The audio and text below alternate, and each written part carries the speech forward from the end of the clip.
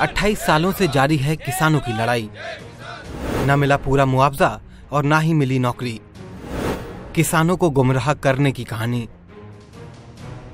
Greater Noida में दादरी के ये किसान साल दो साल से नहीं, बल्कि उन्नीस सौ बानवे से अपने हक की लड़ाई लड़ रहे हैं। और इनकी ये लड़ाई सीधे सीधे दादरी के एनटीपीसी प्रबंधन और सरकार से है। दरअसल ये मामला दादरी में एनटीपीसी के प्लांट के लिए ज़मीन अधिग्रहण का है। ज़मीन लेते समय इन किसानों को मुआवजे के साथ परिवार के एक सदस्य को नौकरी देने का वादा किया गया था।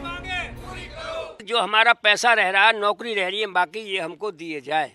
हम ना उनसे गबन मांग रहे ना उनसे बढ़ोतरी मांग रहे। ये तो हमारा धोखे से पैसा रोका आप लोगों ने हमारा पैसा दो हमारी नौकरी दो। मैं या तो किसानों को पैसा नौकरी लेकर रहूँगा या अपने प्राणों की आहुति दे के रहूँगा कलेक्टर के गेट में।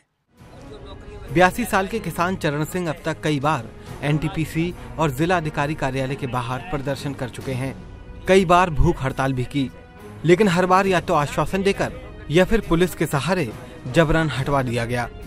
एनटीपीसी, स्थानीय प्रशासन और किसानों के बीच कई दौर की बातचीत भी हुई, जिसके कुछ वीडियो भी किसानों ने बतौर सबूत पेश किए।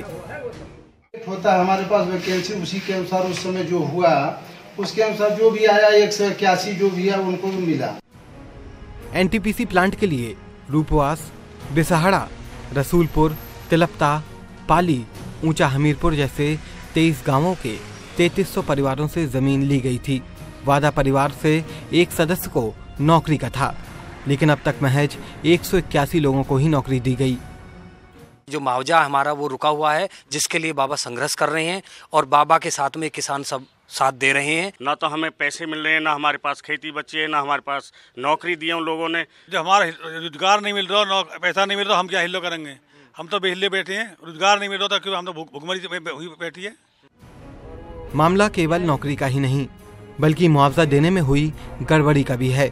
दरअसल यहाँ के किसानों को काफ़ी देर से मुआवजा मिला जिसके लिए सालाना पंद्रह फ़ीसदी ब्याज का भुगतान भी किया जाना था, लेकिन किसानों को आज तक ये ब्याज नहीं मिला, जो किसानों के मुताबिक अब बढ़कर प्रति बीघे पाँच लाख रुपए से ज़्यादा हो गया है। एनटीपीसी हर साल करोड़ों का मुनाफा कमाती है, लेकिन दादरी में जिन किसानों की ज़मीन पर एनटीपीसी का ये प्लांट बनाया गया, उन्हें ना तो उचित मुआवजा मिला, न वादे के मुताबिक नौकरियाँ। अब किसान कई दिनों से, कई सालों से प्रदर्शन कर रहे हैं, लेकिन एनटीपीसी के अधिकारी ना तो उनकी सुनने को तैयार हैं और हमने भी जब कोशिश की उनसे बात करने की तो हमसे भी बात नहीं हुई।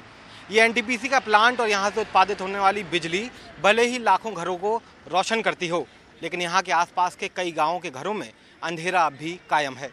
दादरी से कैमरा पर्सन एजाज के साथ शशांक पाठक, स्वराज एक्सप्रेस।